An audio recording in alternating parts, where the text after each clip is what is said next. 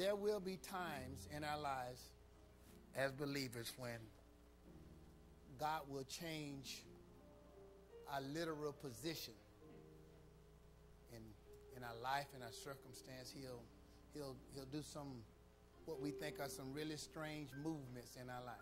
Say amen to that. The movements are not designed to distress you. The movements are to put you in position for what's next. Sometimes we get so complacent, God has to move us involuntarily. God, God, God, when God works with us, his design for us is to never get so complacent that we're not ready for the next phase or the next step or the next encounter or the next victory. We, we being people of complacency, we get to a point and we like it so well and we want to set up camp, put down roots and all that kind of things. And, and, uh, and then when God uh, wants to move us, sometimes he has to do some involuntary movement to get us to the next position, to the next place. Every blessing is not by the brook Cherith. Some blessings are there. But sometimes God has to move you to what seems like where there are no blessings to get you a blessing.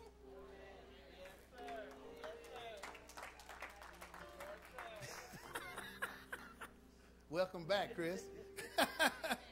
Say amen to that. Elijah found himself in a situation like that. And God says, I got you. Elijah said, You understand there are people after me. No, I got you. There's a family. I got you. I got you. When there is famine, the key to your success is listening to the voice of the Holy Ghost. That's where the, that he is the one that is going to give the instructions on what to do in the midst of a famine. Don't panic. Because God knew the famine was going to come. But he's got you. Say amen to that. Don't panic. Panic causes me not to be able to hear. And when I can't hear, I'll make a move based on my judgment and not instructions from the Holy God. Send me to that. But Elijah kept his ears open. And God was able to direct him to where he would find not only safety, but provisions while the famine was doing his thing. Isaiah Elijah, I mean, go to the brook called Cherith. I have commanded ravens to bring you meat in the morning, noon, and night. Gone. Unlikely source. I've told birds that eat meat to bring you meat.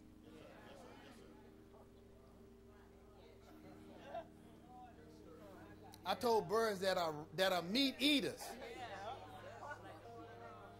save you some. I changed their diet to take care of you. You don't hear me? I've commanded ravens to bring you meat. Morning, noon, and night. And there's water there. It'll take, it'll take care of you. Because I got you. But that's only for a season. Eventually the brook gonna dry up and I'm and I'll put a time limit on when the birds bring the meat. But that's okay. Because I got you. But don't panic because you got to hear. Now, the next move is go to this city. And you're going to see a, a, a widow woman ain't got no husband and no job. But I have commanded her to take care of you. How am I going to recognize? You'll know it's her because she's going to be picking up sticks because she don't have no money to buy wood. But I've commanded her to take care of you. Wait a minute, God, she broke, I'm broke. I got you. She don't even know. that what she has, I'm going to use to help you and bless her. You already got your blessing, you just don't know how to use it.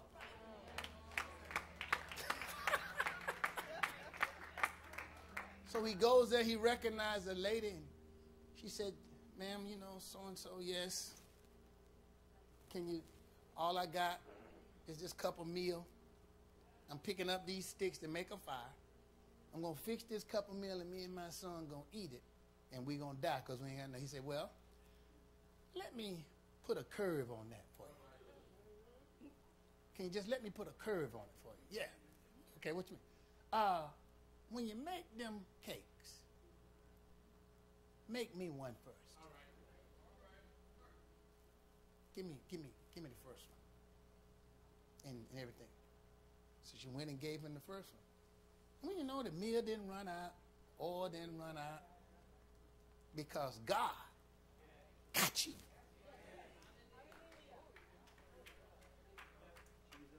Now that, that's some wild kind of faith right there. Say amen to that. Now you ain't gonna go to no brook called Cherith. They don't have places like that anymore. But you'll never know where your instructions are going to lead you. Your job is just to obey. He may lead you to somebody who hates your guts. See, somebody ought to yell sovereign. God is sovereign enough where he'll lead me to the foot of my enemies and command them to help me. And they may be complaining and mumbling and grumbling the whole time. I don't worry about that. You don't want the person to like you that God tells to help you. No. God likes you, and that's enough. You just want the resources that he tells the person to release to you. I wish I had help. I need help. You can't get hung up. See, if Elijah's, well, the widow woman may not like me. I don't care if she like you or not. That's not the point. In other words, when God steps in, the person he sends to help you has no choice. He's not coming because he like you. He's coming because he's being directed by somebody you like. I, I, I, I, if I could just get two people, three that understand what God is trying to tell us, I got you. There is not a famine that can take place where you're not going to have what you need. There's not a drought that can come about that where you're not going to have what you need. I got you like that. I got you like that. Never allow. And see, like, so when God makes them them weird, crazy moves like that, I mean, they're weird. They're crazy. Say amen to that. You have to. You you you can't even be a fool and follow that kind of instruction. You need something crazy like faith to help you maneuver a situation like that. Because it, it don't make sense. It defies all natural, earthly logic. It defies everything that is natural. It defies everything that is logical. And when you follow it, people come to the conclusion, you must be a fool. No, I ain't no fool, but I do walk by faith. Because being a fool can't follow this. Yeah, I just I just can't. So so the idea is we must must don't don't don't don't don't get complacent. Say that. Don't get complacent. Say amen to that your roots have to be transferable. Say amen to that. Now I'm finna get deep on you. When God places you, your root structure not supposed to go down where you he places you. Your root structure is in him. Therefore, he can always move you and effectively plant you in another place without any loss of, loss of growth or fruit production because he doesn't have to uproot you from an, another foundation. You're already in a fertile foundation.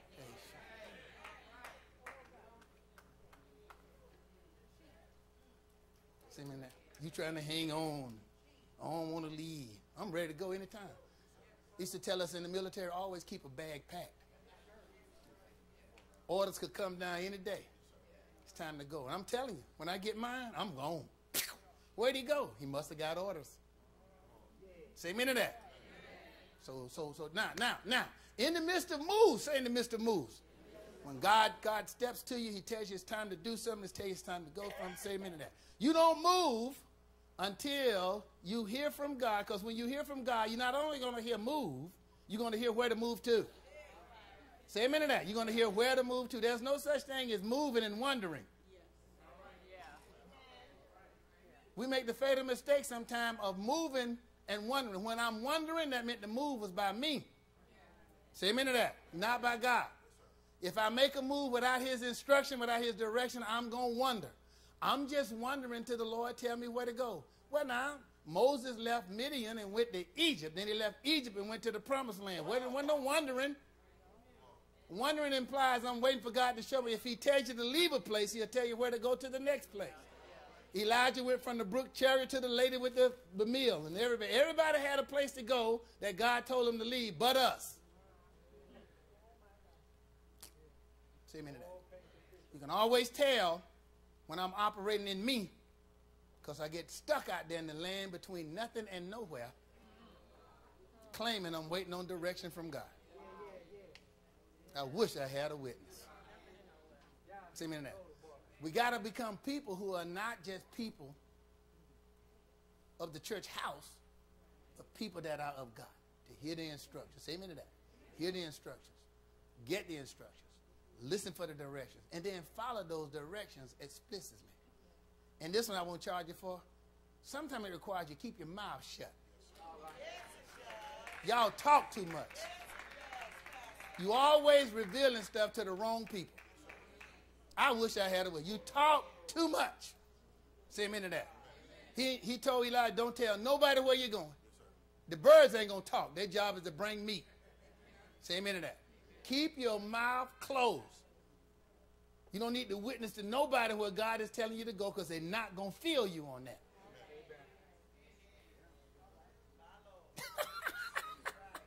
they're not going to feel you because it's your trip, not theirs. You asking for people to come in on something they don't understand, and when you ask them to come in, they're going to start giving you their opinion. That's where the wheel run off the wagon. Hush your mouth. Shut up. Be quiet. Don't talk and tell nobody unless you hear instructions to do that. This one, this one I should charge you for, but I'm gonna give it to you for free. Say amen to that. You notice everybody in Scripture that God told to leave one place and go to another. They never prayed about it. Y'all make the fatal mistake. How God gonna tell you to go, and then you say, "Well, I need to pray about it."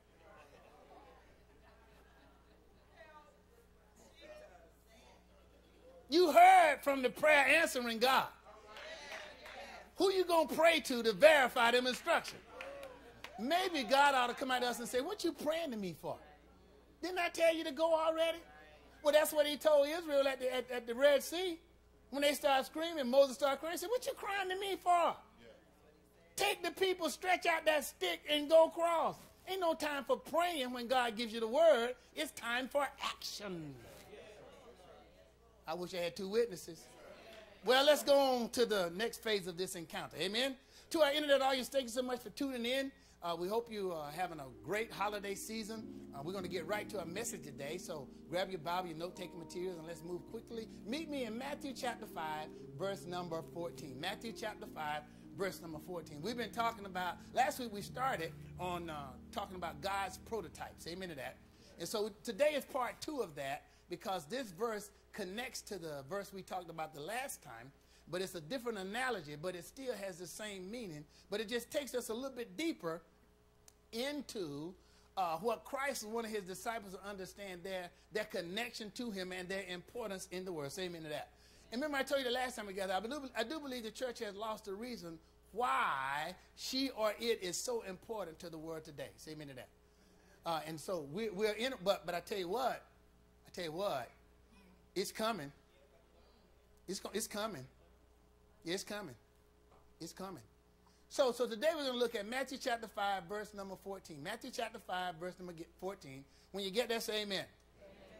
All right, now, uh, I won't ask you to stand because we need to move on through this and get, get going. But uh, so in Matthew chapter 5, verse number 15, the Bible says, Neither do men light a candle and put it under a bushel, but on a candlestick, and it giveth light unto all that are in the house. Look how he writes the text.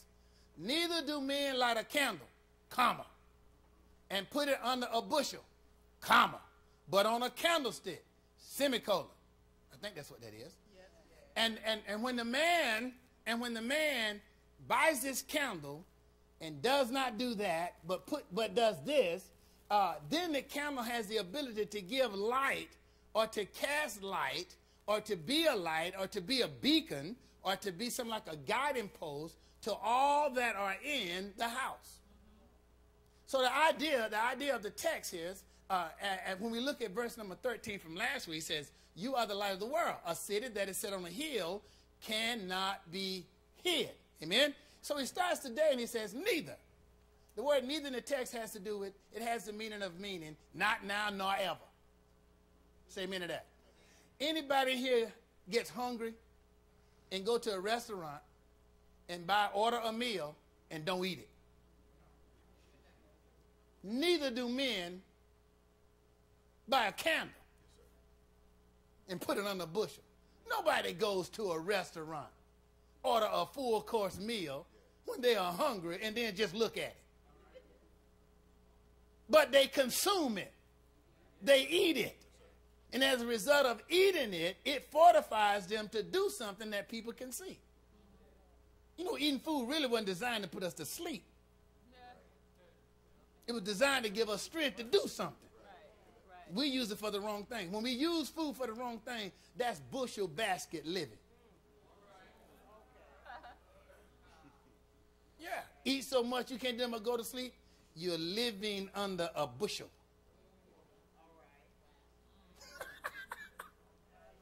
Say amen to that. Now, so he says, neither do men, neither, no way, not how, not ever do men light a candle. Now, I bought some props today. Uh, uh, and I've done this before, but I think the, the Spirit of God is going to help us understand what Jesus is talking about. I brought some props today because some of us are visual learners. I'm not. But, so I brought some props. When I was a kid, this is a miniature version of a bushel basket. Now, when I was a bushel basket is about five times the size of this. A bushel basket is what we used to use to pick peaches and butter beans and all those kinds of things. Amen. See, y'all looking at this thing, what is that? People use it for decoration now. We used to use these things to live on. Say amen to that. Say amen to that. So, say amen. Now, so, but I had to get a smaller one. Now, uh, and, and, the ones we had didn't have a nice handle. Matter of fact, if you go into, um, where's the place? There's a, if you go into, uh, uh there's a place in town that has a picture of some guys picking oranges. And they got these bushel baskets hanging. Anybody ever picked oranges before? Anybody old enough? Yeah. Remember the big basket? Remember the big old basket used to have with that thing around it? That was a bushel basket. And they got this picture of these four African American men picking these oranges with this big bushel basket hanging on the side. So this that's the bushel basket. It denotes the bushel basket is a metaphor and it symbolizes two things. One is hard work, Say amen to that.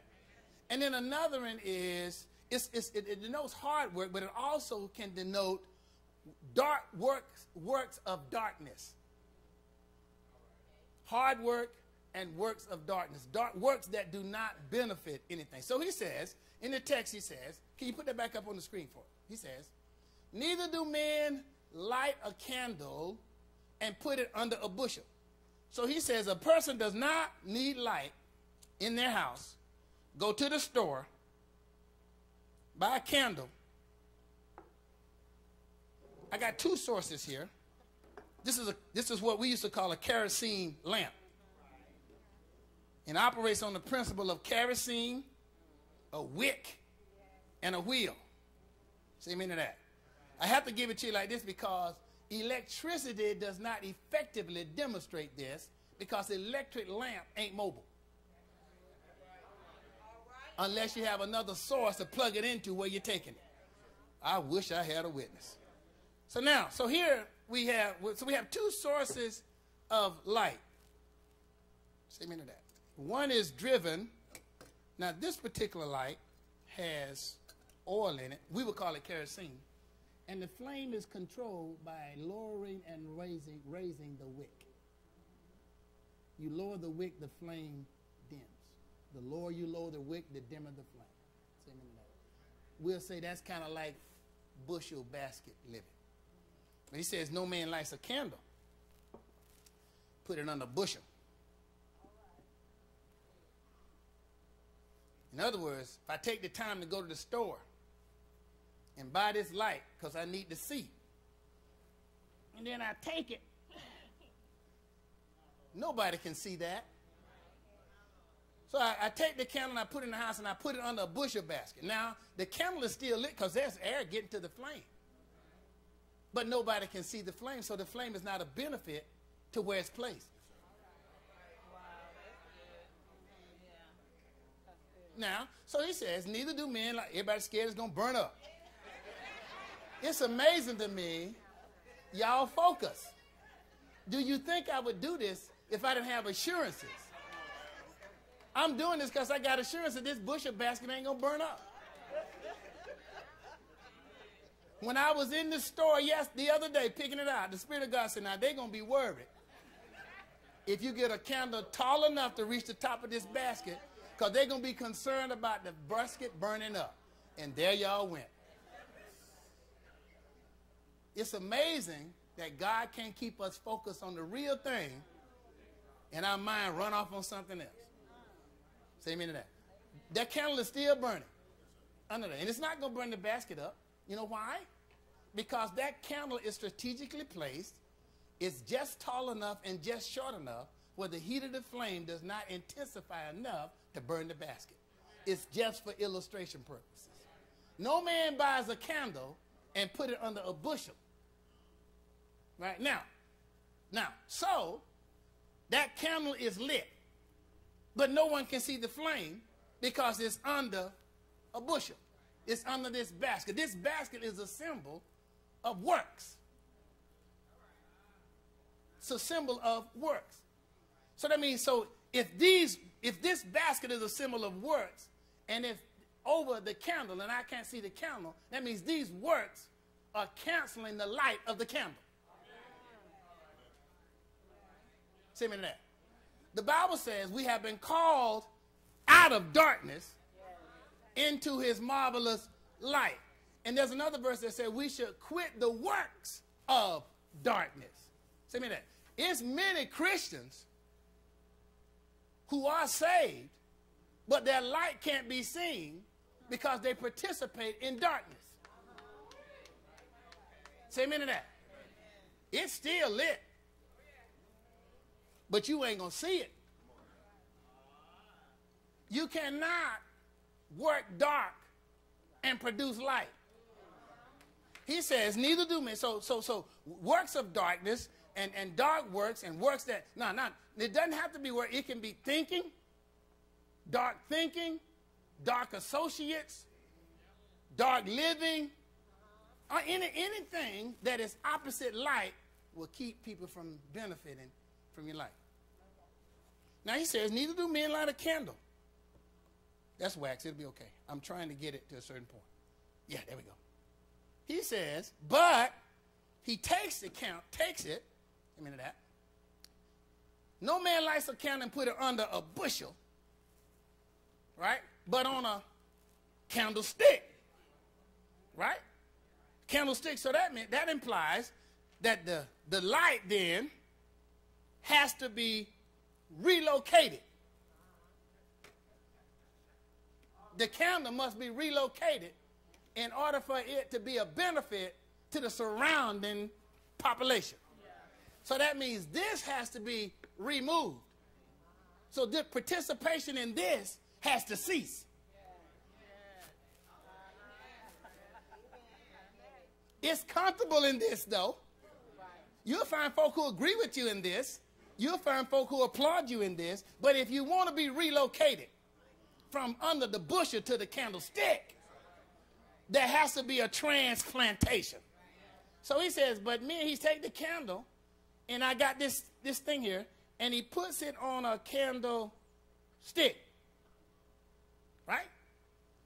The first thing, is a candlestick. The first thing we see is that when the candle was moved from under the bushel to the candlestick, it was elevated.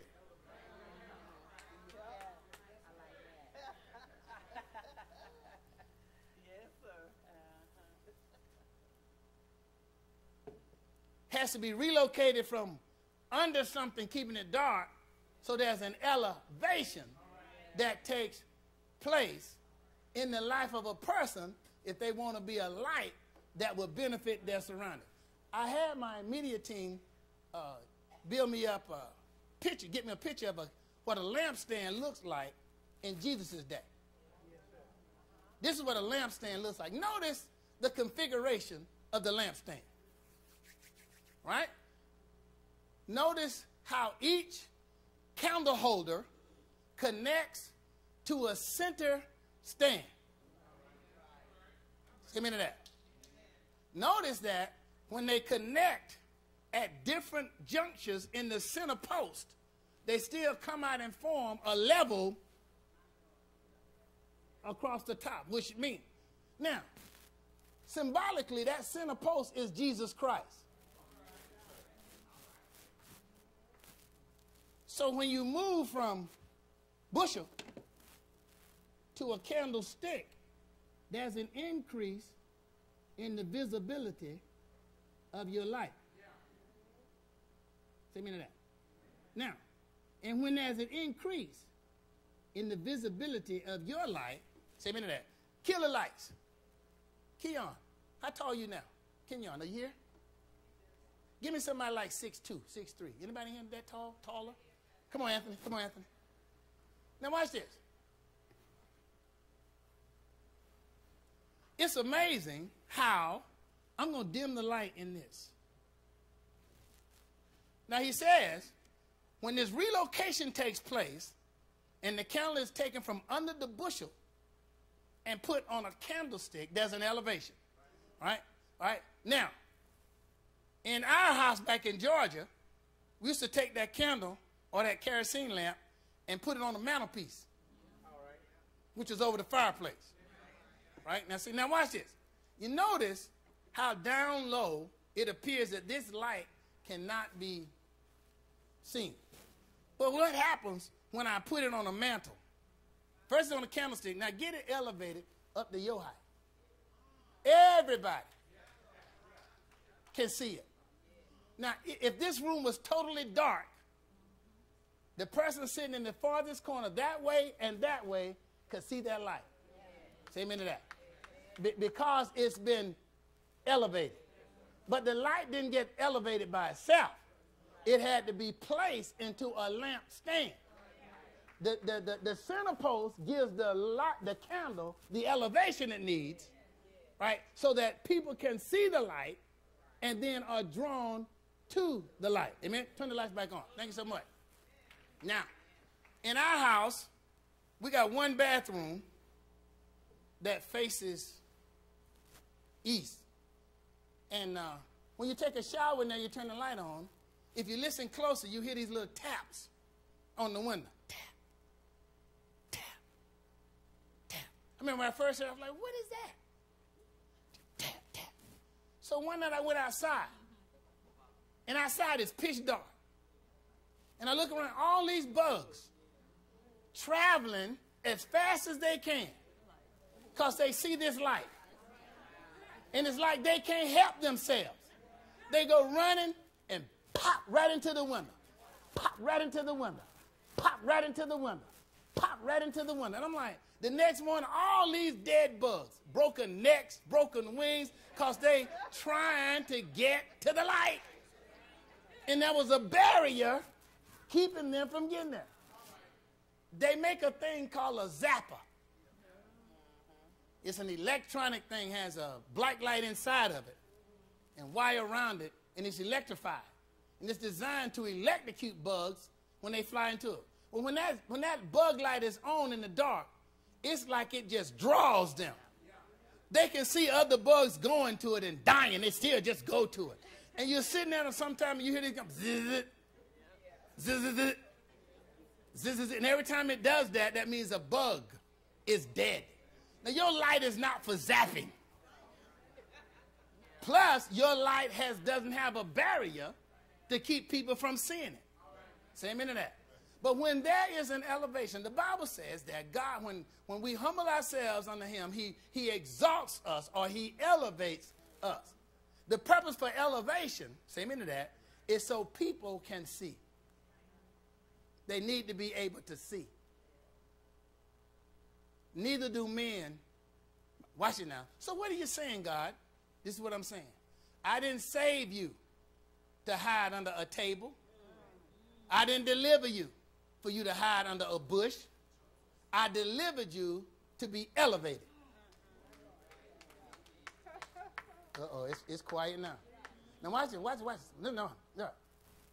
Things that keep me from being elevated are never settling my past issues.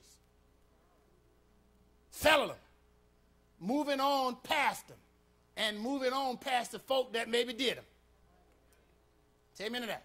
It's quiet in here. Not only my past issues with folks, settling my past issues with myself. Say amen to that. You, you have been delivered from, uh, the Bible says it like this. When God forgives us, say amen to that. You know what forgiveness for God means? It doesn't exist anymore. But if I keep letting it be an issue,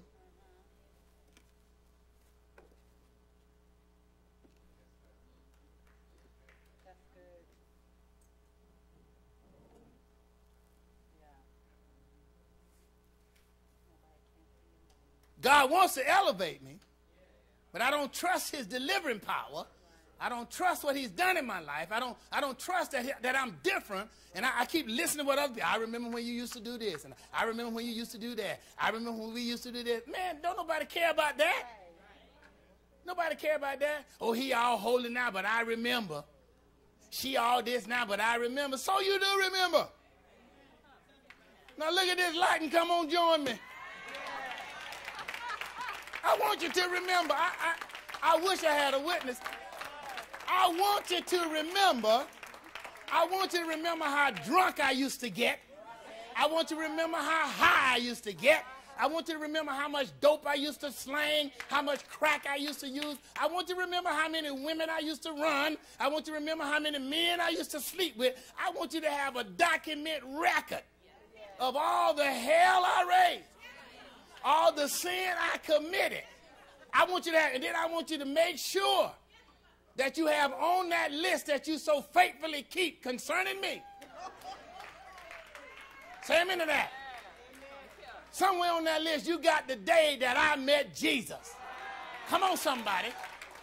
On that list somewhere, because you you you got to have it, because you so nosy about my life, you can't even live your own. You, you got to have it. You got to have it because you're so concerned about what I'm doing. You can't even do your own thing. I know you got it. I know you got it because you talk about me more. You talk about yourself. So, so, so there's no doubt that you got a record of when I met Jesus. Your problem is you stop documenting after that. And the problem with that is you saw the changes happening. And it blew your mind more than it blew mine. So you stop writing down the changes because the changes was messing up your script from the other time. And therefore now you don't tell everybody they this and they that. I remember this. That's because your ledger.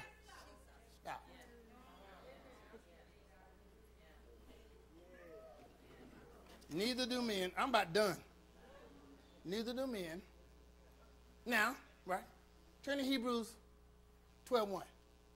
Write it down. Hebrews 12.1. Hebrews 12 1. I think that's right. Hebrews 12 1. I'm waiting on my media folk. Hebrews 12 1. It's Hebrews 12 1. Yeah, there it is. Yeah, now, watch this. This is the cure for moving the can- your candle, say my candle, from under the bushel. Now, I want to tell you something. You know what? Placing myself under the bushel can happen without me even knowing it. Placing myself under a bushel, or placing myself in darkness can happen sometimes without me even knowing it. Now, so this is this is the cure for so this is the cure from moving from under the bushel to the candlestick. He says, he says, look in the text. The writer writes, this, Wherefore seeing we are we also are compassed, are surrounded about so great a cloud of witnesses. Now, those witnesses that we are surrounded by are not in this building right now. The witnesses we are surrounded by are those scripture references in Hebrew chapter 11. God says, God says, I guess God's like, you know, that, that's enough examples right there for you to do what I'm about to tell you. You know, they were men just like you. They were women just like you. They had flaws just like you. They were, there were many times they had to move from underneath the bushel to, to the mantle. So, so they're not any different than you. But I'm, I'm, I'm telling you, they are, you are surrounded with enough witnesses to help you move from under the bushel. Wherefore, seeing we are compassed about so great a cloud of witnesses, look what he says. Now, here it is. It is. Let us. This is a voluntary action. Say voluntary. voluntary. Let us lay aside every weight. Mm. Remember I said about the bushel? When I used to work in peaches and all that stuff, and when you get that big bushel field, you had to carry it to the main thing to dump it. Uh, this thing is really light, but when it's full of peaches or full of butter beans, it's really heavy. It produces heavy weight. When I started, when you start working in the field in the morning with this back with the basket, it's really big. You walk like this. But when that thing get loaded, you come out the dumper, you like this. The implication is this is what sin does to me. It casts unnecessary and unwanted burdens that I have to carry that I'm really not designed to carry. That's why they put in automation in the fields. People back don't last long carrying these big. I wish I had a witness. So he says in the text, right? So I got to lay aside every weight and the sin. See, it's the sin that produces the burden. It's the sin that produces the burden. And when the burden that is produced from the sin, it says, let us lay aside the weight and every sin, which does so easily beset me. It sets me back or it slows me down. Or it moves me, it keeps me from being elevated to where I'm supposed to be. It besets me.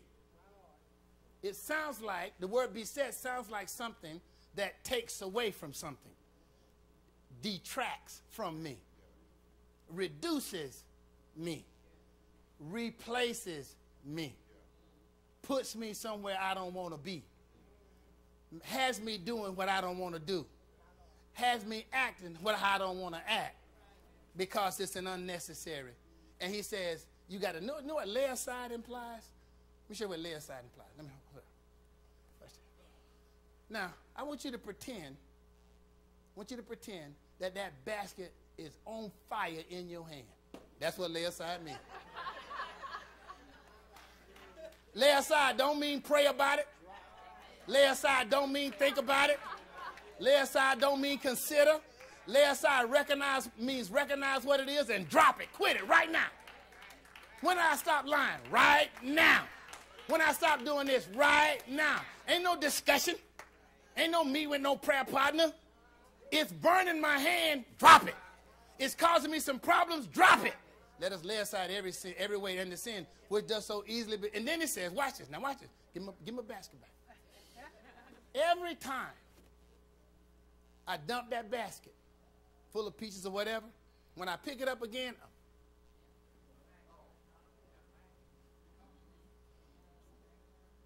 and let us run. But when it's full, I can't run. When it's full, I can't run. See, we as people don't understand, right, the severity of under bushel living. See, don't, don't misunderstand existing with prospering.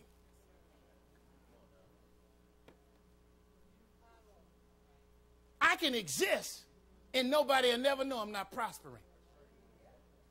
Because I can front in existing. Because everybody around me is fronting. When the last time the church really had any real prosperity? Where folk can look at me and go, wow, that sister is prosperous. We always try to sound prosperous. We always try to say things that make us people believe that we are prosperous. Say me that. But you know, prosperity is like a black eye. Folk can see it whether you say anything or not. Say me that. Now, so he says, when we, this is the cure for under bushel living, right? When I lay aside every weight and the sin which does so easily beset me, it stops me from doing what I'm supposed to do or being who I'm supposed to be. Say me to that. He says, then I am free to run with patience or run with endurance. Run with, run, with it, run without getting tired because I'm carrying unnecessary baggage. I wish I had a witness. Remember, I told you I've been very blessed in my life. Say amen to that. And I told you my greatest blessing was my wife. Say amen to that. I blow away when I talk like this. I really do. She don't know how to handle a brother. I, but anyway, she is, she is uh, see, cause when God gives you a partner, say amen to that. That partner has to be able to keep pace with you. Now, we're not actually on no track running, but there's a mission. I wish I had a witness. That's why it's important that I let God pair me up with the right running partner. Say me to that. Because my ability to run effectively is going to greatly depend on my partner's ability to not only run with me, but give me the freedom to run how I need to run while I give them the freedom to run how they need to run so we both can run this thing we got to do. Say amen to that. You ever notice that, and uh, some, some of these guys here, all you track, ex-track guys will know this. You know, in a, in a 4x4 relay, you got four guys, right? You got uh, the, the start guy, then you got a middle guy, then there's, a, there's another guy, then there's an anchor guy. Say amen to that. There's like 12 guys in a 4x4, right? Am I right? Track people, am I right? 12 guys? first, second, third, fourth, right? Four legs. And then there's four guys in each lane. So there's four, 16 people running one race. You know why? Because in that one race, it requires 16 different types of runners. The first guy is usually the guy who's quick out of the blocks because he gives you a head jump. Then you got that second guy because his strength is in that first leg. That's where his speed is. Then you got that third guy. His, his, his strength is not in the anchor, but it's in that just before the anchor, that burst that everybody needs. Now, the anchor guy, he's the guy that brings it home. But if he doesn't get it, the baton, at the right time from them other three guys, I don't care how fast he is. See, that's why the relay is not really about all speed. It's about technique and it's about timing on moving and passing the baton and handing it at the right time so that the next guy can move. See, you're not just lighting up for yourself, you're lighting so you can hand out stuff. So this person can pick up and run their part. Run that part. And that's why that's why I'm glad I have the woman that I have. Because she lets me run like I need to run. I hope I let her run like she need to run. I don't know. I don't know till she tell me. Say amen to that. Say amen to that. All we're trying to do, all we're trying to say is this. Say amen to that. I need to move out from under. My race is not designed to be run under a bushel. There's no rewards for bushel racing. There's no rewards for bushel living. My life is designed to be run on a track where thousands upon thousands can witness and see my light shining before men. So he says in the text, let us let, and let us run with patience, endurance, be consistent. Bushel basket living keeps me inconsistent. Say amen to that. You know sometimes how certain situations cause you to disappear?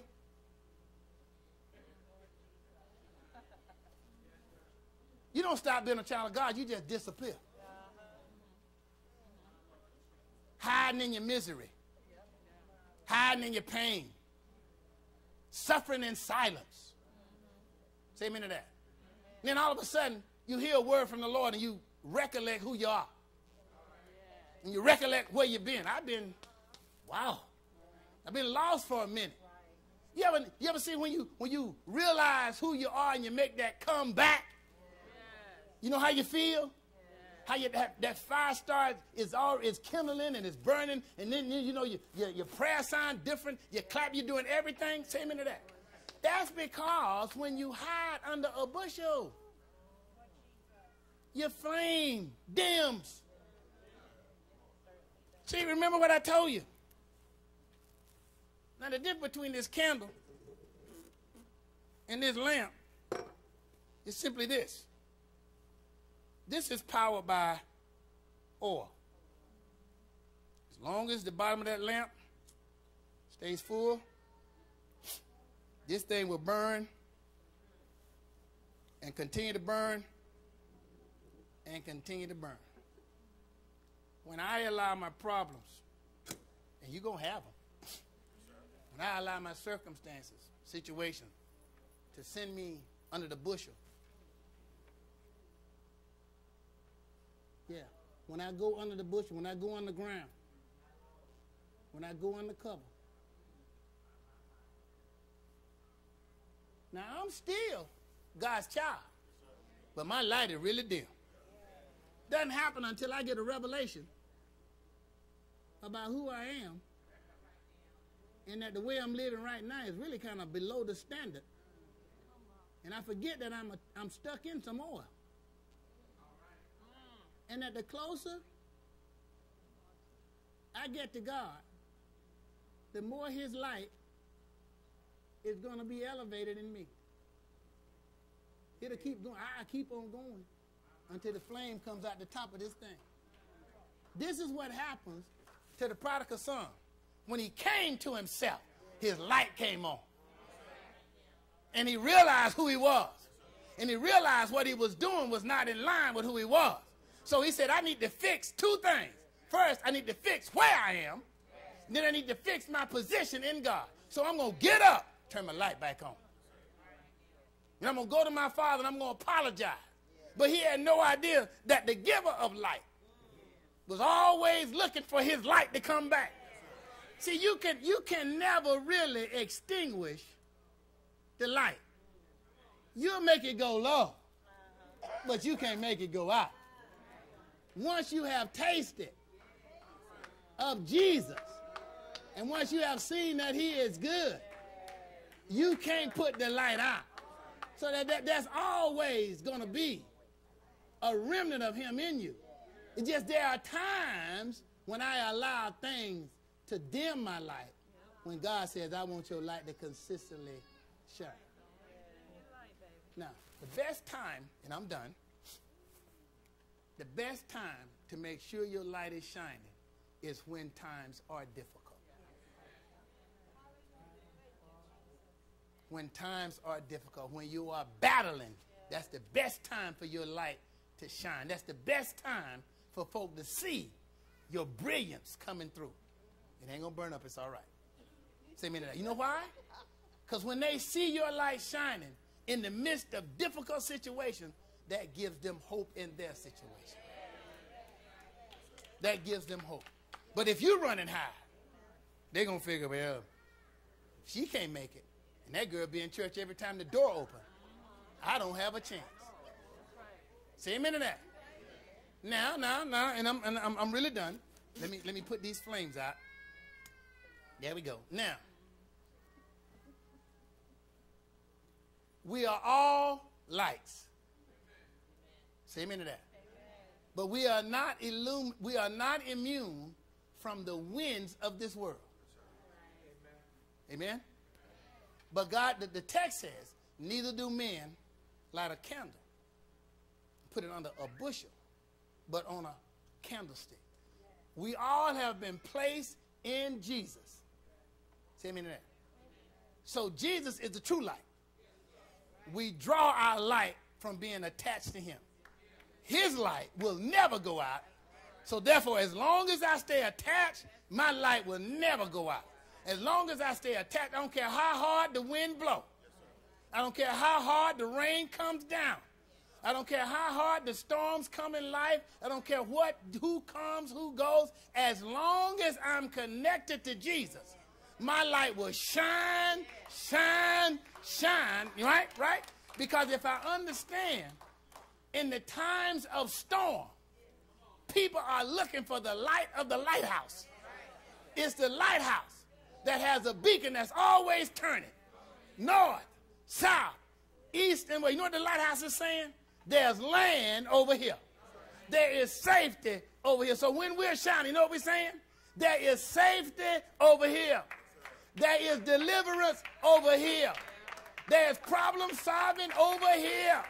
God is over here and he's ready to share his light. Put your hands together, give the Lord a mighty hand clap. Hallelujah. Jesus is the true light. And they nailed the true light to an old rugged cross. They nailed the true light's hand. They nailed his feet. They pierced the true light in the side. They put a crown of thorns on the true light's head. And the true light died. And the true light was laid into a dark, buried tomb. But early on the third day morning, see, you can't keep light in darkness.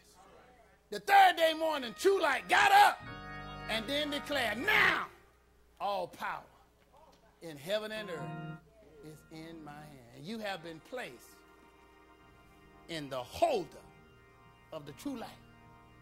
Let your light so shine before men that they may see our good works and glorify our Father who is in heaven. Put your hands together. Give the Lord a mighty hand clap of praise. Amen.